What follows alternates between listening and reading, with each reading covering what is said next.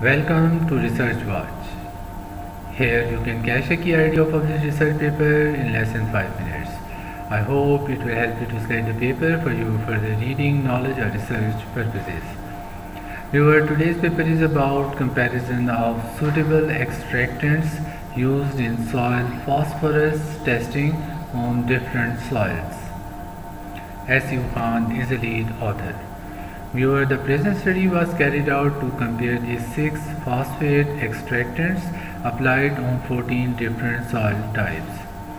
The extractants used include acetic acid, sodium acetate, buffer amino acetate, buffer sodium bicarbonate, acidified ammonium fluoride and an ion exchange resin AER.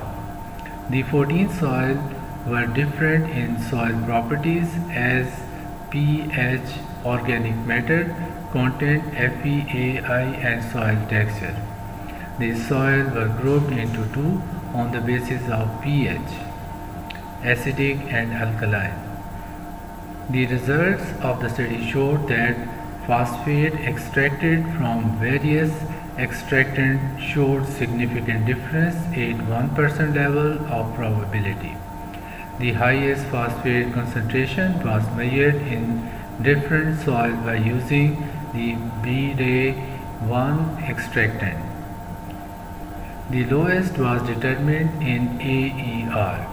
Significant correlation have been found between the extractant except for Bray which showed no significant correlation. Comparing the effectiveness of soil pH showed positive correlation between the extractants at pH range of 5.2 to 6.3 while at higher pH in range of 6.3 to 7.9 was non-significant. It may be concluded from the results that Bray 1 was effective in extracting P concentration from soil in acidic condition while acetic acid and sodium bicarbonate were more effective under salinity acidic or to alkaline condition. Viewer, this article was published in the Journal of Animal and Plant Sciences, February 2018.